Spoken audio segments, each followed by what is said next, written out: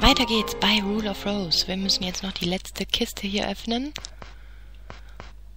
Und dazu lassen wir den Brown diesen Artikel hier mal suchen.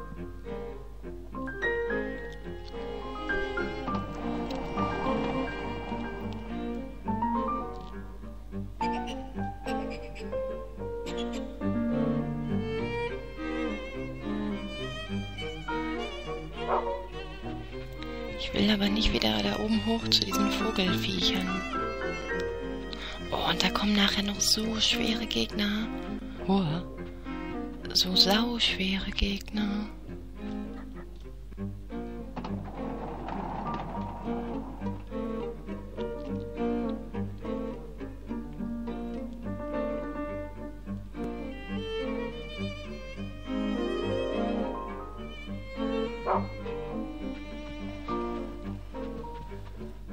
Hier sind wir wieder. Ja, okay.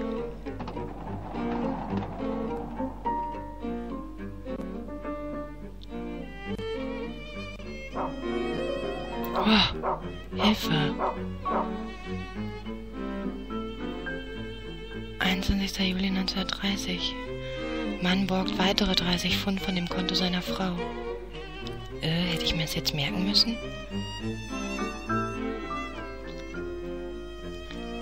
30? Muss ich jetzt... Jetzt habe ich nicht aufgepasst. Okay. Ach, das, das war die Frau, die irgendwann mal da unten geputzt hat. Kann man sich das nicht mehr angucken? Mann stiehlt 60 Pfund vom Konto seiner Frau. Muss ich jetzt... Ach so, ich muss es jetzt abziehen und dann überlegen, wie viel sie noch drauf hat? Was ist das denn für eine Aktion? Also, hat er 90 geklaut oder was? Ich versuche das jetzt.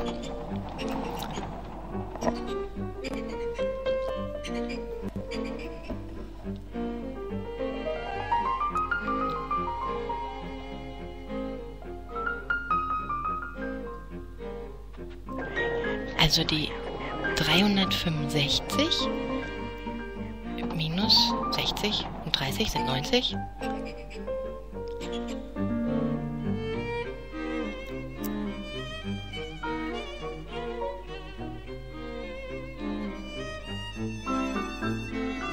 Sind 275. Habe ich jetzt mal eben ganz schnell ausgerechnet. Eigentlich müsste das doch passen.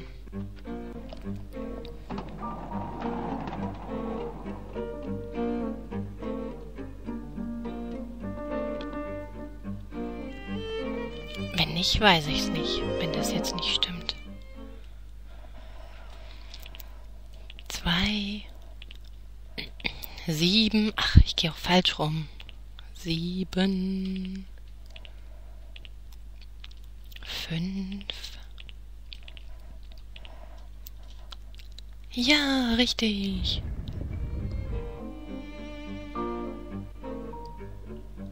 Hm?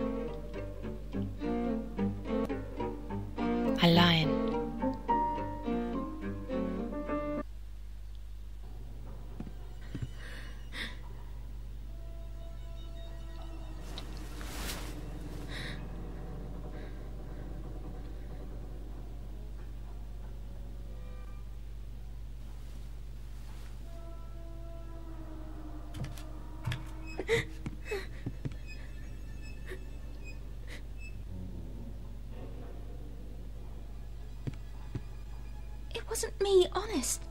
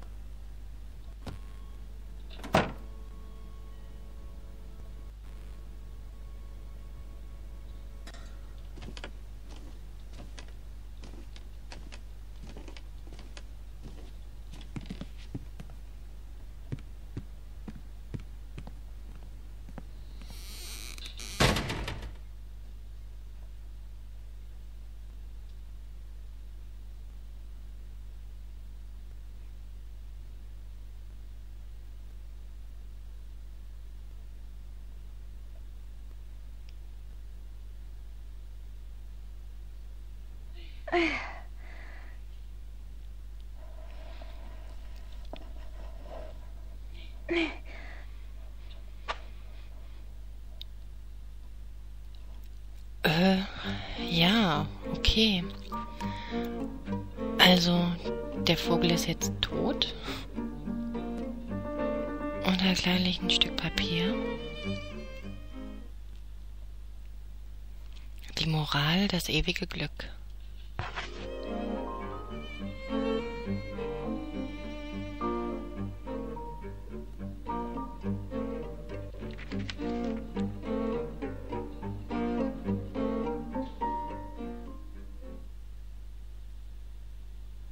So, jetzt können wir die Geschichte nochmal ganz lesen. Denke ich.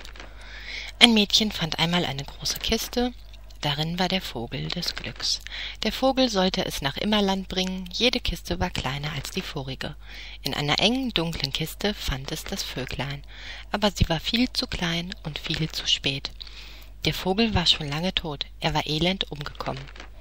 Die Moral, das ewige Glück ist ein Witz.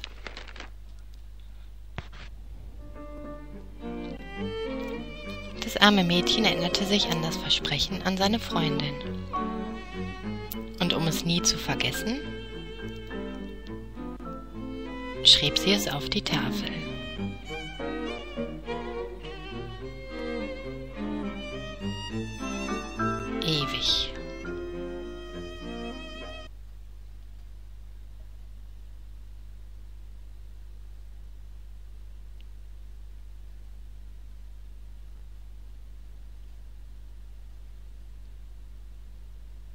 Ja, ich möchte speichern.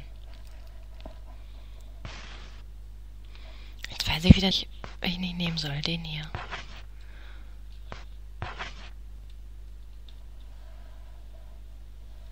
Gut, und wie es weitergeht, seht ihr im nächsten Part.